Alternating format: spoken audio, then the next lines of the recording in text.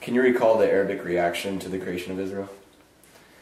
Yes, uh, very well. It was, uh, and it, it, came as no surprise. It had been forecast. Uh, it was violent. It was bitter. It was anger, uh, and uh, on the part of the uh, Arab states, Arab world, but in other parts of the world, it was met with great joy and celebration.